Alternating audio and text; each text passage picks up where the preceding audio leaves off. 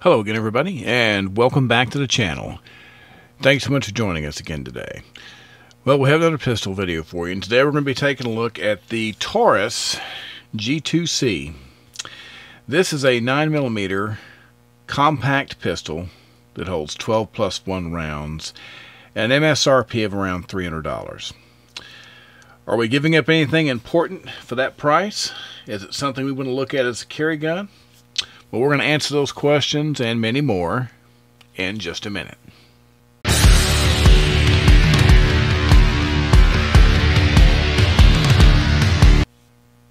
Okay, once again, welcome back. Thanks for being with us. If this is your first time coming to the channel, or if you've been watching our videos and you just haven't had a chance to do so, and you like our content, please consider subscribing. You can locate that subscribe button in the lower right hand corner of your computer screen, or if you're on a mobile device, you can scroll down below the video and you can hit the subscribe button that way. It's a simple thing that helps out a whole lot, and we really appreciate it. So, the G2C by Taurus. Now, we've reviewed several Taurus firearms on the channel already, and uh, some older models, some newer ones. And the general consensus seems to be that uh, Taurus has been improving over the years. There was a time when uh, um, there was some questionable uh, quality issues out of some models. Are some people that uh, were pretty outspoken against the models. And uh, I haven't had a lot of experience with Taurus up until the last few years, but uh, everything I've seen here recently has been pretty decent, and we'll see how that fares for the uh, G2C. We always like to start out, of course, with a little side by side just to give you an idea of the scale for carry.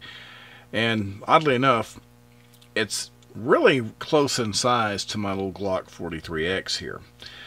If you put them side by side and take a look, obviously they're not exactly the same, but the whole idea behind this comparison, as I've said before, is just to give you an idea of what it's like to have it in the holster on the body. You know, a certain amount of rounds in the in the pistol, the weight of the pistol, the shape.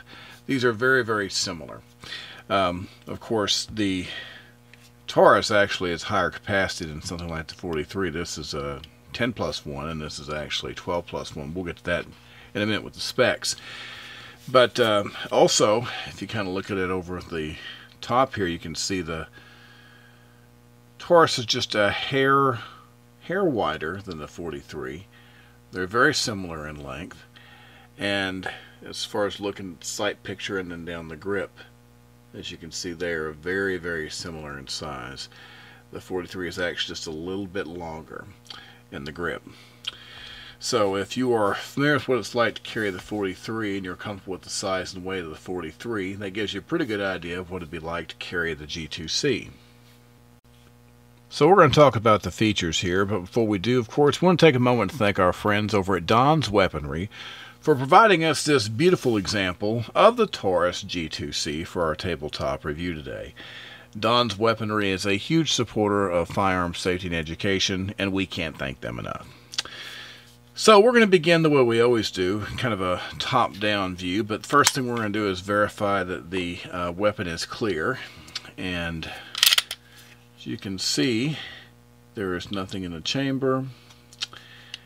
We have no magazine and as you can see we are all good to go there. So first thing you'll notice at the top here you've got your this is basically a white dot sight setup which uh, is kind of minimal that I look for. I mean I'm not a big fan of just you know steel just black steel sights I don't think they are very easy to pick up. Um, as you get older of course um, you're going to want as bright of a sight picture as you can get just to make it easier.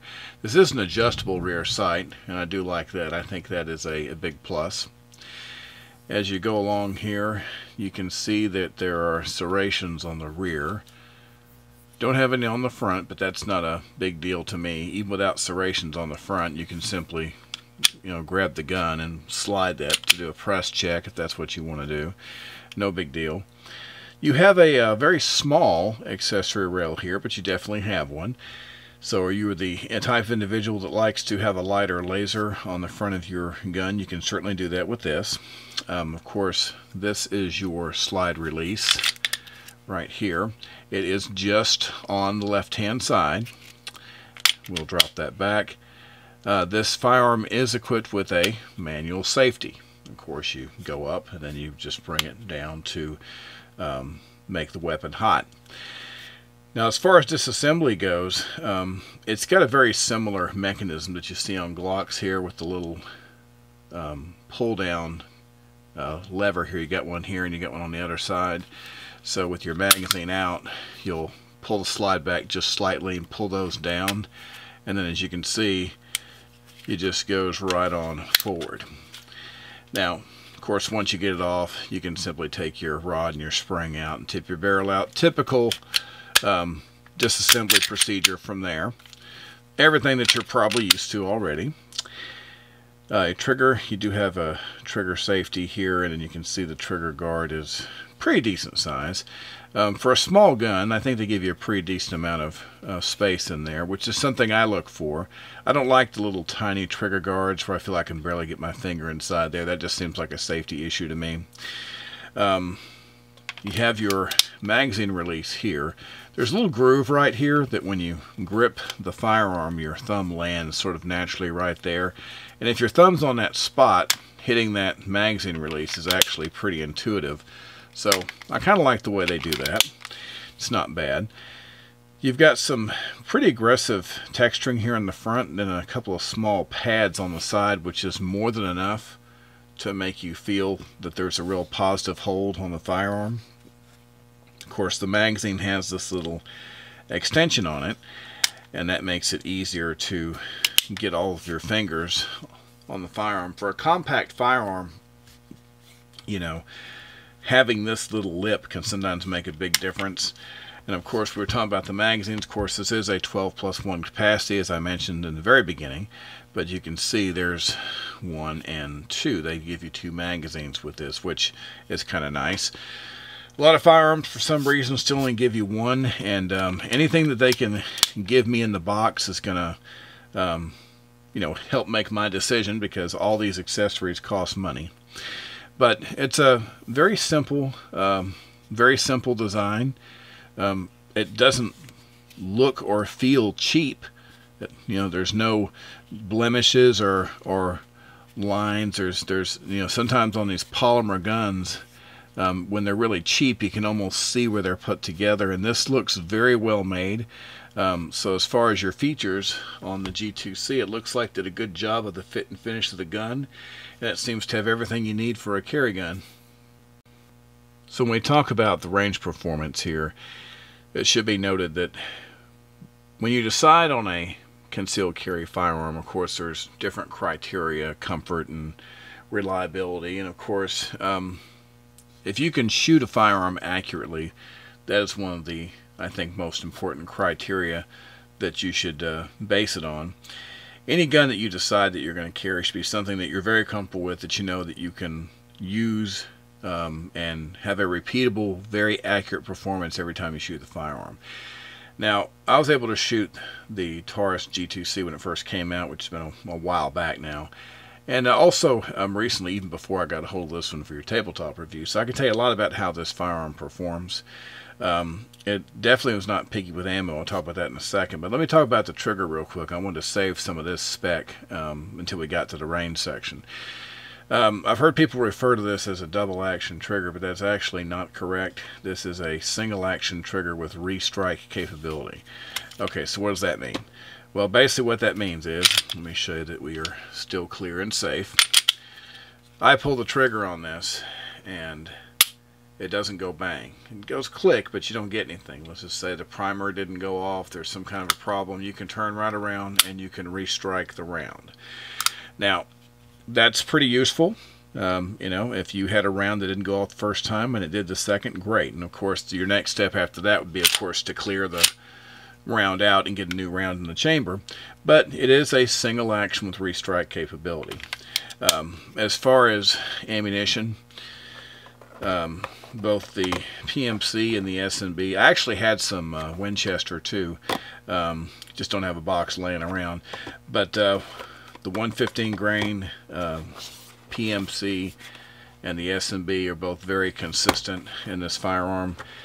Um, the defensive rounds, I actually had several, uh, including some Remington, but uh, most of what I focused on was the SIG V Crown here. I shoot this in pretty much all my defensive guns.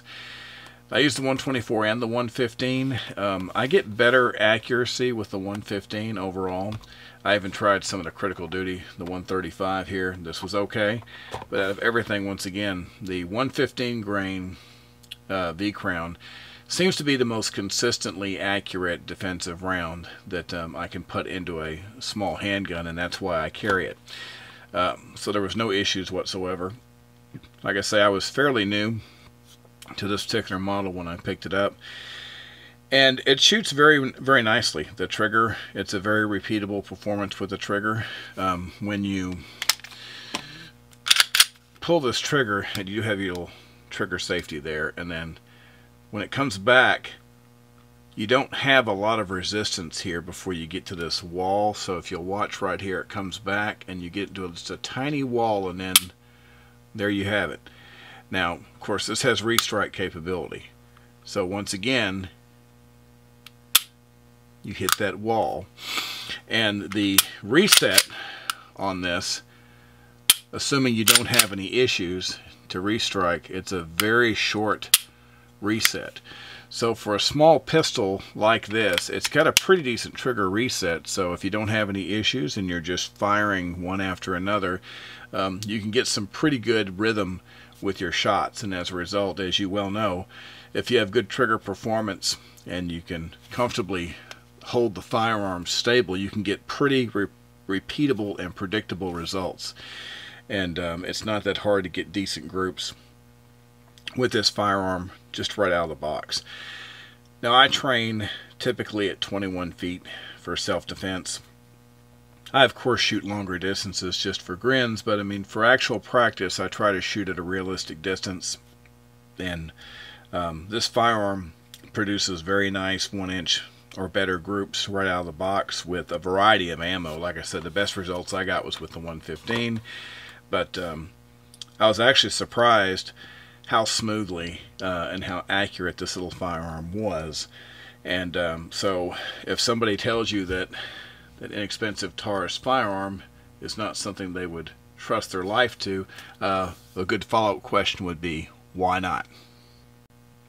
So what's it like to carry the little Taurus G2C? Well, there's a lot of ways that you can carry this. Um, I tried a couple of different just generic leather holsters. I don't have a Kydex holster. It's custom fit for this. And since it's a pretty small pistol, I went ahead and just went with a sticky um, just to get out and have some fun with it. And, you know, once again, I know that there's people who are completely anti-sticky and anti-pocket carry. They want some kind of hard retention. Um, and that's fine, once again. But for smaller pistols, I will very often do this because if I'm going to pocket carry or if I'm going to carry in the waistband, if it's a small gun like this, this is such a great way to carry it. As long as you have, you know, a good belt and um, it's tightly secured inside your belt, it's not going anywhere. It's not going to fall out. I've been using these for years and I've never had a single problem. As long as you don't try to carry too large of a firearm inside your waistband, you're going to be just fine. And with uh, 12 rounds in the magazine plus one in the chamber, um, the weight of this is actually very manageable. It, uh, I used the 43X as a comparison, and as far as the weight goes, uh, it felt very similar to what this firearm feels like whenever it's in the waistband. And um, and in a generic leather holster with a thumb break, um, this was also very comfortable. But I actually ended up carrying this in a sticky most of the time just because it was so small. And uh, you know, I like the fact that I can make little adjustments inside the waistband if I'm getting in a vehicle and I want to, you know, roll it forward off the seat a little bit to keep the grip from digging into the leather seats. I can do that. And then when I stand up, I can make another adjustment and change the cant back where I want it inside the waistband. It's just a really good solution for small pistols, I think. And um, so as far as comfort goes, there's a lot of different ways that you can carry this. There are a lot of really good options. And of course, you know, um, I know people that carry this same pistol with, uh, you know, something custom Kydex, whether it's a, a, a big Alien Gear, you know, a big cloak tuck or a crossbreed super tuck or maybe even a Versa carry, something that's, uh, you know, appendix carry. Um, it's a light enough firearm that I think no matter what your preferred method of carry is, I think that you'd enjoy it. Well, if we talk about our overall impressions of the Taurus G2C, I think that to be totally fair, you know, there's a lot of firearms that I've shot and held in my hand that weren't worth the money that was being asked of it. I've held five, six hundred dollar, I've held thousand dollar guns in my hand before that I was pretty irritated that that's what they charged for the gun because I just didn't think it was that good. Now, Taurus has come a long way, um, according to many people that I work with in this field. Like I say, I've gotten into Taurus a little more recently, and everything that I have had a chance to look at of theirs has been pretty good. Um, to me, for a, a firearm that uh, has an MSRP of around $300, you know, you get a nice set of uh, white dot sights with a rear adjustable. Um, you've got 12 plus 1 capacity, a 9 millimeter, which puts it in the same category as a lot of these other, you know, more expensive uh, subcompact guns that they're advertising that are, you know, a lot of these are five, six, seven, eight hundred dollars. You know, it has a manual safety, so if you want that, you've got it. Um, it comes apart very easily, very similar to a Glock, a lot of other designs that share this type of uh, takedown method. Accessory rail, it's got a nice, uh, nice trigger guard, decent grip, and of course the magazines have that little pinky extension to give you a positive three-finger grip on the firearm. And to top it all off, it's not picky on ammo, and it's a, a very accurate, uh, dependable little gun. So if somebody tells you that you shouldn't buy a gun just because it's $300, I think you need to once again ask that follow-up question and say, well, why not? Tell me, tell me what about this gun uh, makes it where I shouldn't buy it. Because looking at the features and performance, um, I can't see a reason why this wouldn't be a good addition for someone that just didn't feel like uh, spending a whole lot more or didn't have a budget for more. And you got to respect um, a firearm that's well made in that price category because, you know, I think anyone should be able to uh, have the budget to buy a decent firearm for self defense. All right. Well, that is going to do it for today. And uh, of course, we appreciate you being with us as always. We're going to be back very soon with another video for you. Until that time, as always, everybody be safe and have a great day. Thank you.